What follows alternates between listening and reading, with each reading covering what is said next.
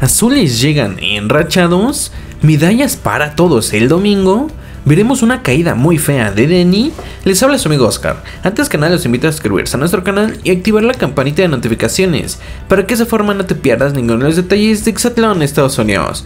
Pero bueno, el día de hoy comenzamos viendo cómo Rojos tenían una estrategia en mente, la cual consistía en dejar sentados a tres contendientes, es decir, no los estarían retando a los más poderosos, y nos referimos a Denny, Chuy e Isaías donde incluso parte de la estrategia era que Ramiro también retara a los nuevos, por lo que tal cual como mencioné anteriormente, no sabíamos qué tanto estarían afectando a los azules el pasar de 5 participantes a 9 participantes, 4 de ellos nuevos, nuevos en circuitos, nuevos en tiros, nuevos en todo, además de que justamente los rojos se hacían una pregunta, Tarzán lo deben colocar como uno de los más poderosos en contendientes, y es que en lo personal yo he visto que el punto débil de Tarzán es la falta de continuidad.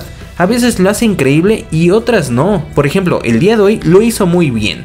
Pero bueno, Rojo llegando con esa estrategia al juego por las estrellas de beneficio tecnológico en el circuito de hierro, donde Erasmo aclaró nuevamente que esta competencia sería sin pulseras. Repito, no entiendo cuándo quieren ponerlas y cuándo no, no hay como un factor que decida cuándo van a ponerlas. La verdad me causa mucho conflicto esas pulseras. Pero bueno, analizando la primera ronda de la competencia, pues pareciera que la estrategia de rojos había funcionado. Y me refiero a que en la primera ronda solo azules habían logrado 3 puntos. Adivinen de quiénes. Sí, de los más poderosos, de Denichui y Tarzan. Solo ellos tres habían logrado hacer puntos, mientras que rojos lograron 5 venciendo a los nuevos y a Keta.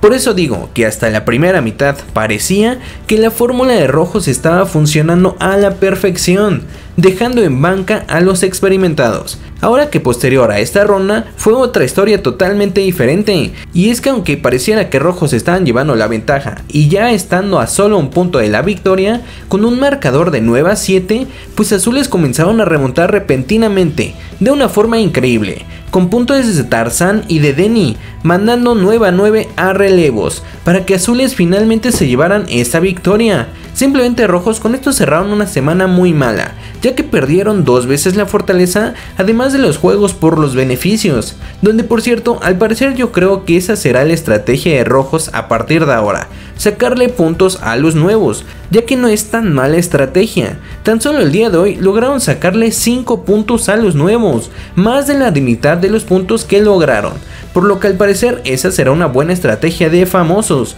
mientras que de la azules, pues los puntos estuvieron súper repartidos entre todos, dando los nuevos azules 3 puntos, Julio, Claudia y Emanuel dieron un punto cada uno. Donde por cierto, en esta competencia hubo una dinámica que quitó a la producción, y me refiero a que en la primera ronda los nuevos solo estaban jugando con los nuevos, y es que vimos cómo los famosos en esta competencia experimentados pudieron retar a los nuevos, aunque azules también lo hicieron, ¿eh? como Denny frente a Yulin. Pero esa dinámica que estaban nuevos contra nuevos en la primera ronda, pues la quitaron simplemente. Ahora que hablando por otro lado de Yulin, pues a mi parecer de los refuerzos a la que veo posiblemente más débil es a Yulin y específicamente en los tiros. Siento que rojos deberían ponerla a practicar más urgentemente. Pero bueno, al parecer estando Emanuel de momento en riesgo de salir en caso de perder los azules. Y es que repito, la verdad se me hace injusto que los nuevos no tengan inmunidad. O sea, para ver todo su potencial, pues deberíamos verlos más tiempo. Además de que no sé si notaron, pero las victorias de Chuy sobre Tommy siguen creciendo. Y es que el mismo Erasmo mencionó y me sorprendió sobre cómo Chuy es el participante que tiene mejor porcentaje de ambos equipos. Y es que en lo personal yo no esperaba tanto de Chuy.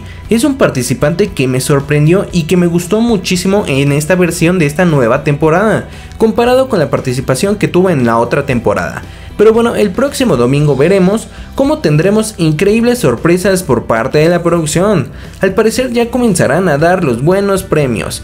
Y es que para comenzar el, equipo ganador le estarán dando una medalla a cada uno de los integrantes. Simplemente una noticia increíble. Pero eso no es todo, ¿eh? Sino que del equipo ganador, el hombre y la mujer más rápida estarán compitiendo por una SUV, esto con la dinámica de estar superando sus tiempos. Grandes sorpresas para este domingo. Y es que si analizo un poco el rendimiento de ambos equipos, pues por estadística los azules estarán llegando como favoritos, pero rojos sabemos que una vez que se enrachen, pues tienen atletas muy poderosos, como los Ada, Nate, Yamilet y Tommy Ahora que en las escenas hay una en específico donde podemos ver como rojos aparecen celebrando. No sé si sea un punto o puede ser el punto de la victoria. Además de que más adelante vemos una impactante caída en Eni. Y es que yo creo que no pasará de que solo la chequen. No creo que sea nada serio. Pero de que se ve fea la caída, se ve fea. Además de que si esta caída la detiene por lo menos el domingo, pues esto estaría afectando a las mujeres azules. Pero bueno, ¿ustedes qué opinan amigos? ¿Creen que azules terminan su racha de victorias el domingo? Prácticamente sería una semana perfecta para ellos. Adicional a que me imagino que Manuel y Yulín serían los que estarían en riesgo. Pero bueno, estaré leyendo todas sus opiniones. Asimismo, no olviden suscribirse a nuestro canal y activar la campanita de notificaciones. Así como regalarnos un super like al videito si te gustó. De igual forma amigos, agradecería se pueden suscribir a nuestro nuevo canal llamado Yo Soy Robs. Con videos muy divertidos. Les encantará. Repite amigos, yo soy Robs. Esperando les haya encantado este videito y hasta la próxima.